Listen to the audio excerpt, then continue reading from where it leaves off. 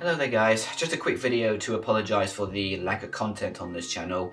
As the next vid that I hinted at I was going to be making from the last major one uh, turned out was going to be a bit more ambitious than I thought since it wasn't, it's not going to be a standard review type video. So um, in order to make up for that, this following weekend, uh, instead I'm going to be uploading one of my older videos um, that was from my previous channel that I used to make videos on.